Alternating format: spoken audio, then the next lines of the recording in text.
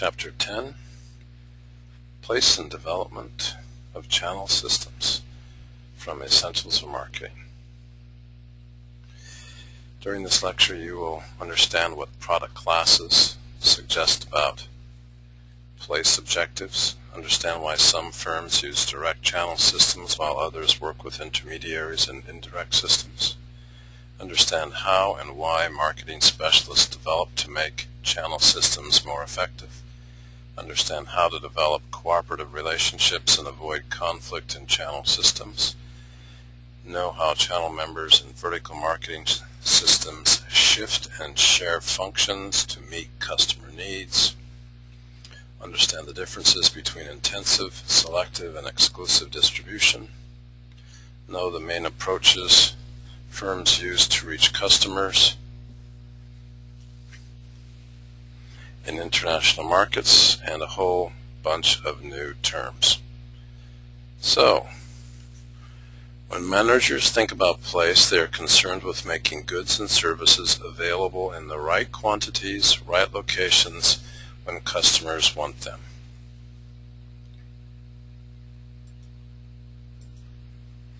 Place is the part of the marketing mix that deals with making goods and services available in the right quantities and locations when customers want them.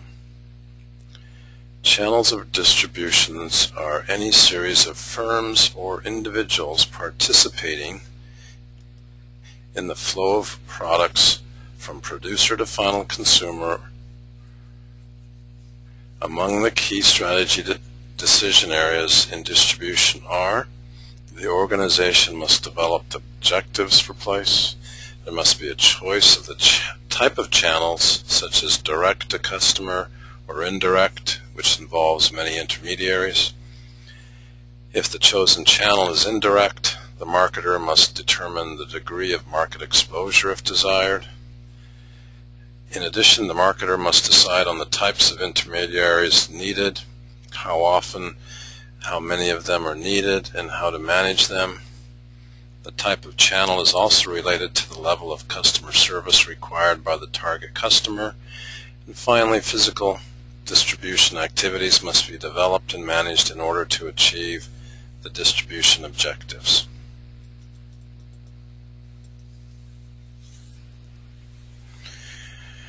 Customers may have different needs with respect to time, place, and possession as they make different purchases. Product classes suggest place objectives. Different levels of customer urgency, convenience, and product information needs naturally suggest different place needs as well. The place is not automatic. More than one place arrangement may be appropriate or needed to reach different target markets effectively. Place decisions have long-run effects and are usually harder to change than those made for other components of the mix. In part, this is because other firms in the channel of distribution may carry out much of the place strategy and gaining access to desired retail space or outlets typically involves a great deal of time and then is bound by contractual agreements.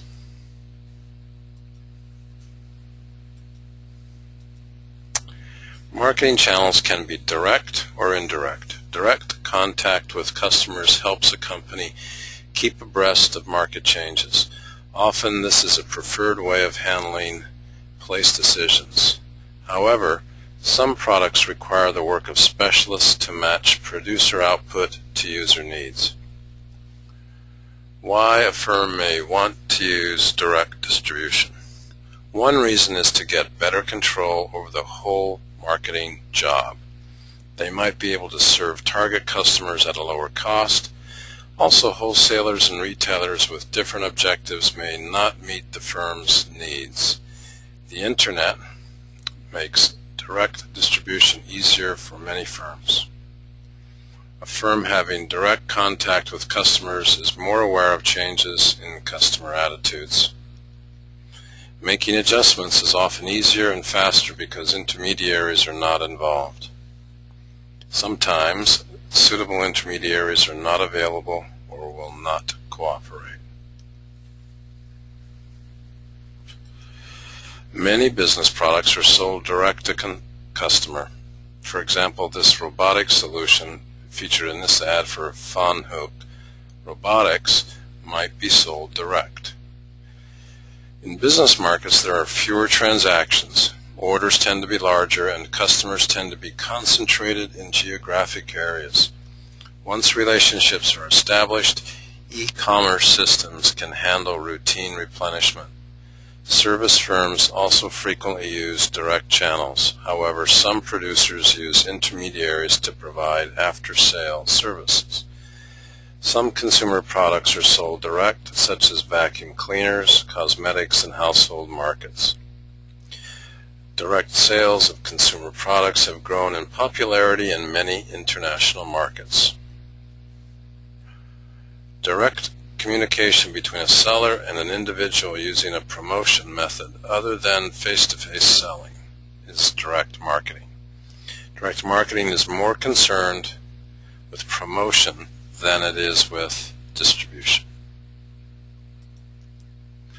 Even if a producer would like to handle the whole distribution job, sometimes it is simply not feasible. Consumers want convenience. For example, in this ad from Celestial Seasonings, organic tea, consumers may be spread over a wide area and prefer to shop at a specified place.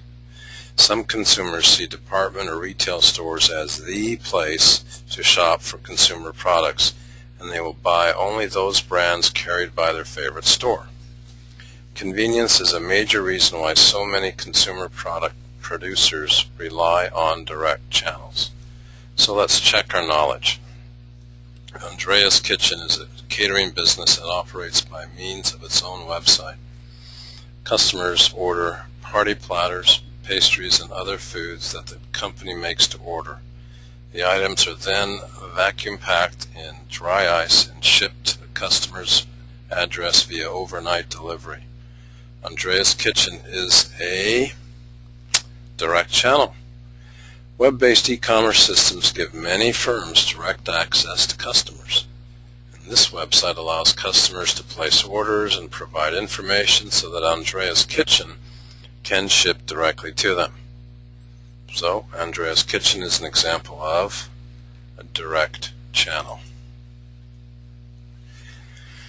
This assortment and quantity of products consumers desire may be different than the assortment and quantity of products offered by producers.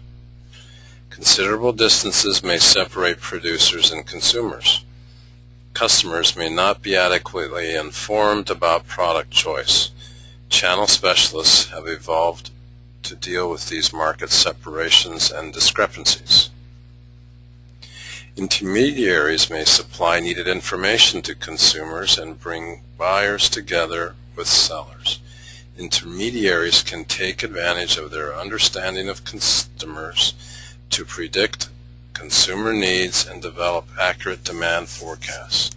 So this information can reduce channel costs, smooth out production runs, and permit easier access to international markets. Intermediaries can help to rectify discrepancies of quantity and assortment. Discrepancy of quantity, which is the difference between the quantity of products it is economical for a producer to make and the quantity that consumers or users really want.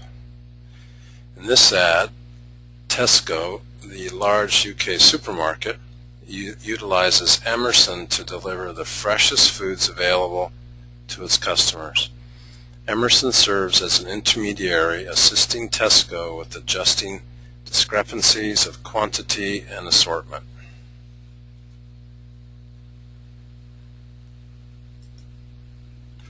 The discrepancy of assortment is the difference between the lines of products a producer typically makes and the assortments final consumers or users want.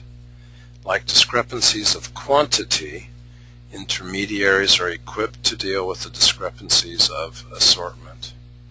So in this ad, Campbell's specializes in producing soup as its major product line. However, consumers purchasing food items typically want to buy other things besides soup during a trip to the grocery store. Food wholesalers and retailers adjust this discrepancy by bringing assortments of different types of foods to consumers. The need to resolve discrepancies of assortment can lead to a complex web of relationships involving many firms.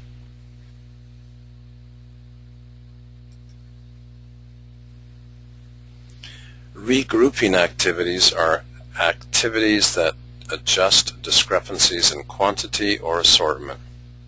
Channel specialists adjust quantity discrepancies by accumulating and bulk breaking. Accumulating is the collecting of products from many small producers. Bulk breaking is the opposite. It's the dividing the larger quantities into smaller quantities. Smaller, several levels of a channel may be involved. Wholesalers and retailers adjust assortment discrepancies by sorting and assorting. Sorting is the separation products into the grades and qualities desired by consumers. Assorting is putting together a variety of products to give a target market what it wants. Even without a physical form, distribution remains an important marketing strategy decision for firms with digital products. It is important for marketers to watch for changes needed in assortments and quantities as consumer needs change or as the marketing environment shifts. The objective here is showing a graphical example that indicates how adding a wholesale level can in fact reduce total transportation costs in the channel of distribution. So let's say there are 50 manufacturers and 800 retailers in a channel system. The total transaction cost in a channel system with no wholesale level is computed and compared to the total transaction costs in channels that contain one or two wholesalers.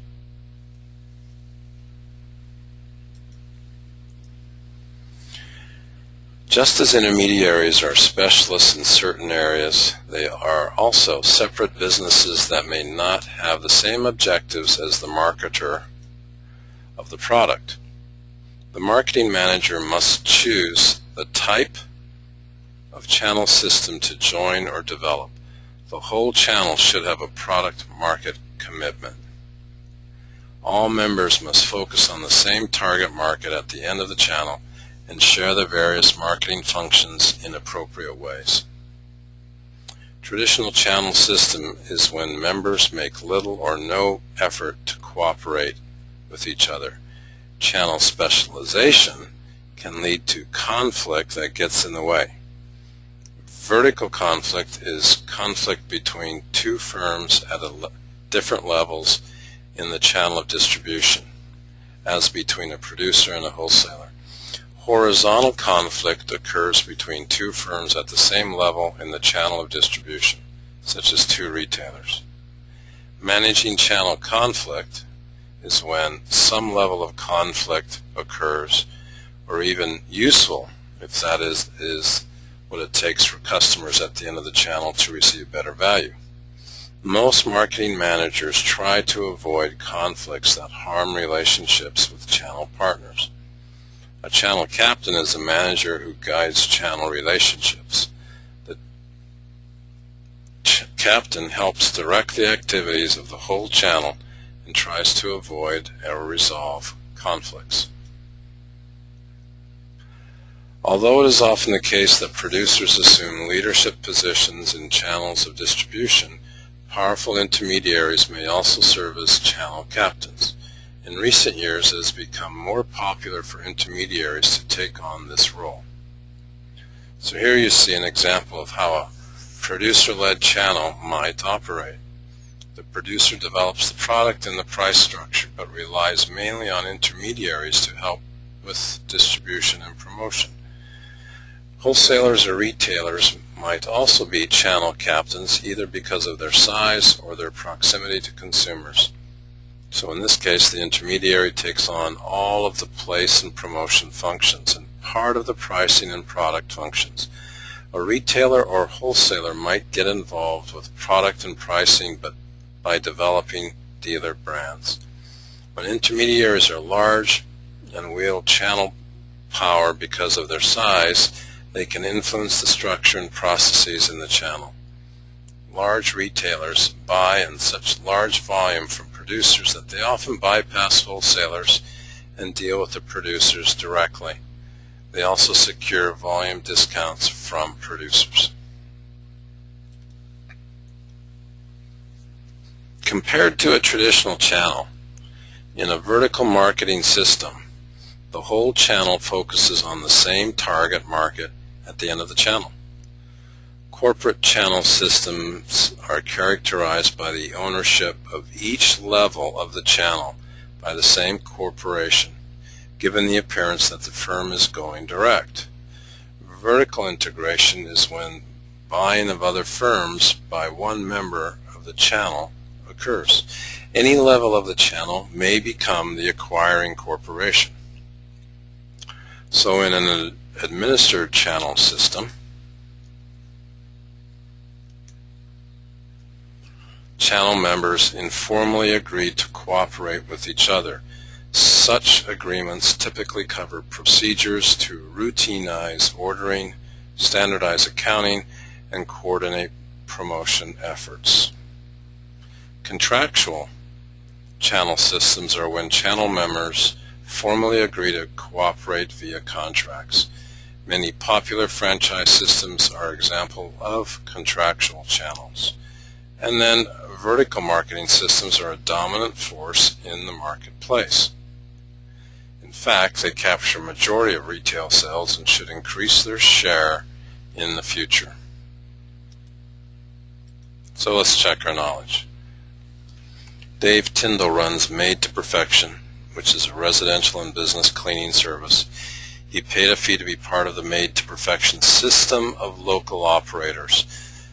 The written agreement gives him the right to use the company name and operations manual, and the agreement promises Dave that there will be another made to perfection operator in his immediate area. He operates as a semi-independent entrepreneur, but is still part of a national organization. Dave is part of a contractual channel.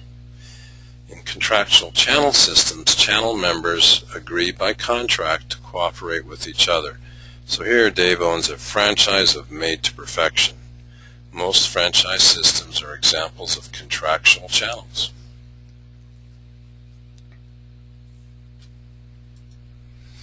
I, ideal market exposure makes a product available weak, widely enough to satisfy target customers' needs but not exceed them. Too much exposure increases marketing costs and such inefficiency is detrimental to both the firm and the customers who ultimately pay more for products.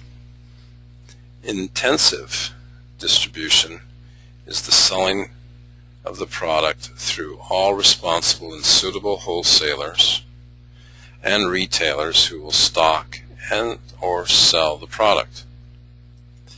This exposure is particularly appropriate for convenience products because consumers do not want to expend a lot of effort to find them. Selective distribution means sell it where it's best, and it's selling only through those intermediaries who give the product special attention. This exposure is typically associated with shopping products. Selective distribution can reduce costs and get better partners. Selective distribution gets special effort from channel members, and selective distribution often moves to intensive as the market grows. Exclusive distribution means selling only one intermediary in a particular geographic area. Exclusive distribution sometimes makes sense, especially when dealing with specialty products.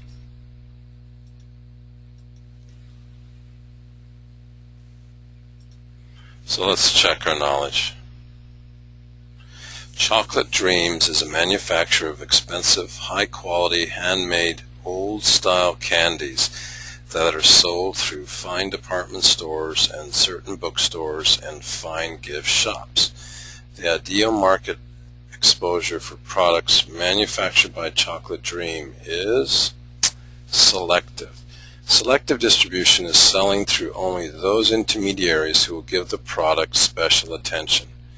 Companies commonly use selective distribution to gain some of the advantages of exclusive distribution while still achieving fairly widespread market coverage.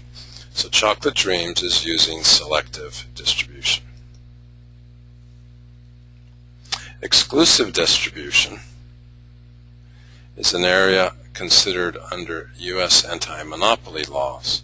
Courts currently on the currently focus on the potential harm to competition in answering the basic question, is limiting market exposure illegal?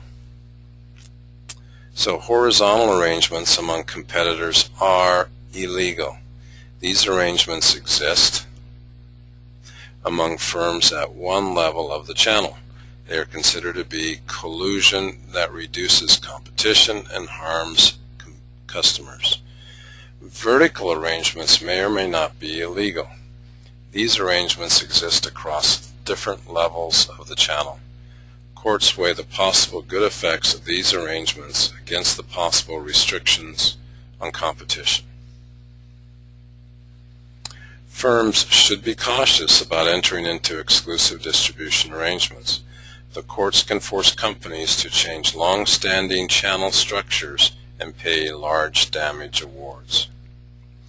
Channels of distribution can involve a complex set of relationships among many organizations. This chart shows an example of a channel arrangement for a publisher of computer books. Books pa pass first to the wholesale level, either to general book wholesalers or wholesalers of computer accessories and supplies.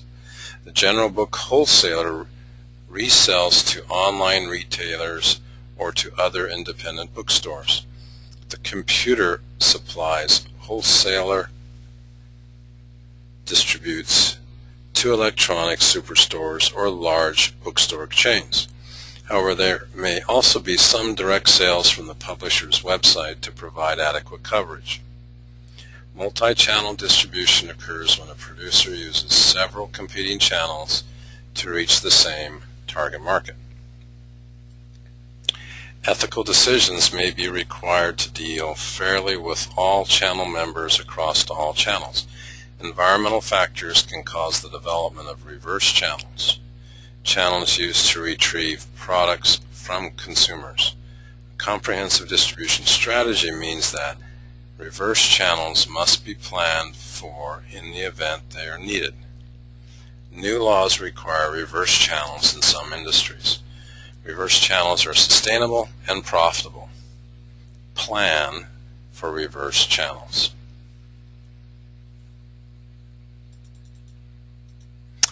all the strategy decisions for place apply whether a firm is just focused on its domestic market or if it is also trying to reach customers in international markets. So what are the five basic ways to enter international markets? Exporting often comes first. Usually gets started by working with intermediaries. They are typically specialists in international marketing and the target country. This often allows a firm to test an international market with low investment of time and money. Licensing is often an easy way as well. The licensee in the foreign market takes most of the risk because it must make some initial investment to get started. If good partners are available, this can be an effective way to enter a market. Management contracting sells know-how, relatively low-risk approach to international marketing. This can be especially important in developing nations or ones where the government is less stable. Joint venture increases involvement. Sometimes this is the only way a firm can enter a new market. Direct investment involves a big commitment and usually means greater risks.